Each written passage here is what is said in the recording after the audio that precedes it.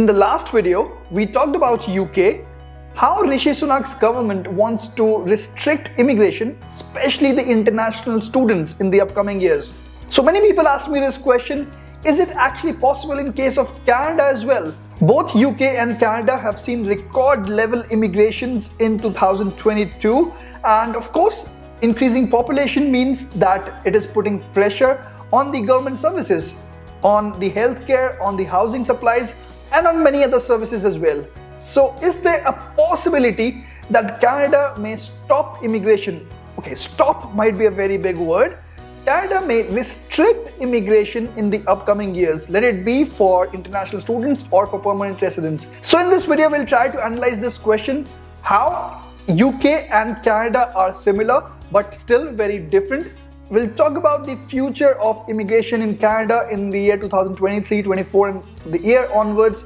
Is there a chance that Canada is going to restrict immigration in the years to come?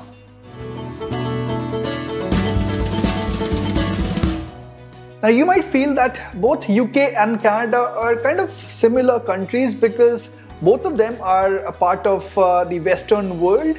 Um, they are part of the G7. They have you know similar language. There might be many other similarities between the two countries, but things change when we talk of the strategy and need for immigration in these two countries.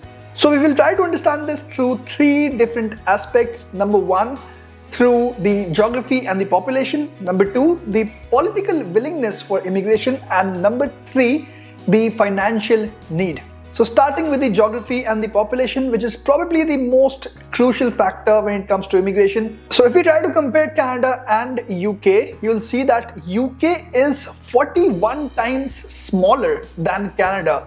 Canada is actually the second largest country in the world and it's very huge while its population is very less while in UK you have around 68 million people, in Canada you have only 38 million people. So while Canada is 41 times larger than UK, its population is almost half of UK. However, 90% of the people actually live in certain areas, but still there is a room for so many people out there. While in the case of UK, it is already very populated and when its population increases, it becomes a problem for them. Also, Canada has a bigger percentage of aging population, so they try to give more importance to people who are younger in age. For example, in the express entry system, they give more points to people who are under 30 and they reduce the points as the age increases. So, in the case of Canada, it is not about the want, but it is their need to get young people who can give their government more taxes and, of course, add to the labor market. Okay, point number two about the political willingness.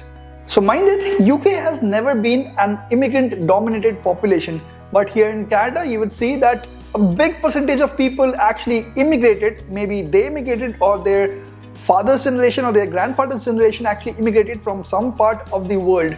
So Canada is a country of immigrants and the political willingness also depicts the same in their manifestos. They give importance to the immigration policies. If we talk of the manifestos of the Liberal Party or the Conservative Party or the NDP, you'll, you would see similar context in all these uh, manifestos. However, people somehow believe that conservatives are anti immigration while liberals are pro immigration. But I made a detailed video about it uh, when there were elections in Canada. That even if you check the uh, promises and the manifestos of the Conservative Party, you would see that there are a lot of improvements that they want in the immigration system. They don't want to limit or restrict immigration. Instead, they need immigration and that's why they also understand it.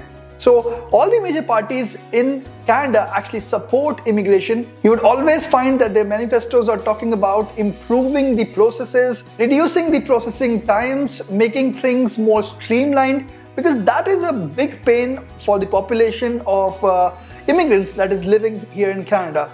While new immigrants are adding to the Canadian population, it is definitely putting a stress on the housing supplies, on the healthcare, on the education system. But Canada is quite used to it. Everywhere you go, you would see labor shortages. So Canada needs more people. Also, they have already defined the immigration targets for the next three years, that is 23, 24, and 25. And in every year, we see that they want to increase the number of uh, PR residents in Canada. In the next three years, they target to get 1.45 million new permanent residents in Canada. And also because of the labor shortages, we have seen that the government actually is encouraging, they're changing their policies that the, uh, you know, the students, international students who are limited to work for 20 hours can actually work for more hours. They want international students to get the permanent residency of Canada because now all these students are a product of their own education system and they trust them even more.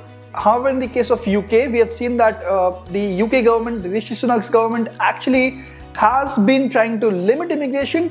In the case of Canada, the political willingness is to increase immigration even to higher levels. Okay, the next point is about the money, the financial need.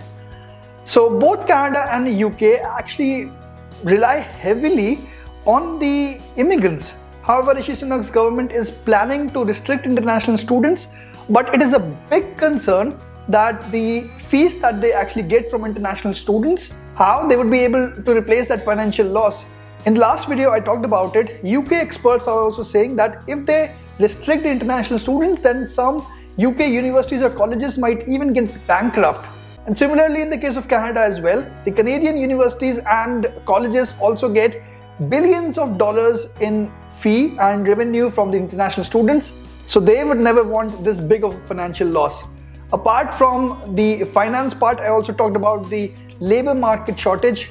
Although we're talking about recession, although we're talking about inflation, but there's a huge labor market shortage out there in the market, whether you go in the healthcare sector or in the education sector or for truck drivers or for food industry, everywhere you'll find there is a huge labor shortage out there. And not just the permanent residents, but the international students actually help to fill this labor shortage.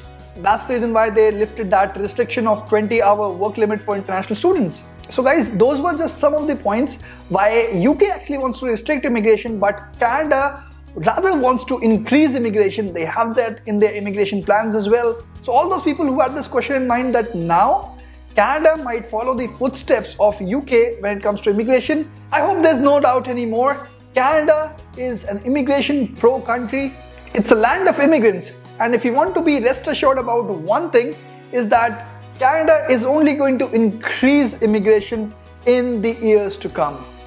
Thanks a lot for watching this video. If you have any comments, any feedback, please put them down in the comment section below. Also, do not forget to click the subscribe button before moving on to the next video. Thanks again.